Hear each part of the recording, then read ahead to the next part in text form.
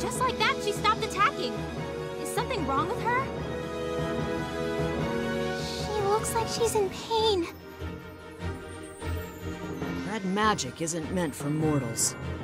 I don't think the human body can handle all that power.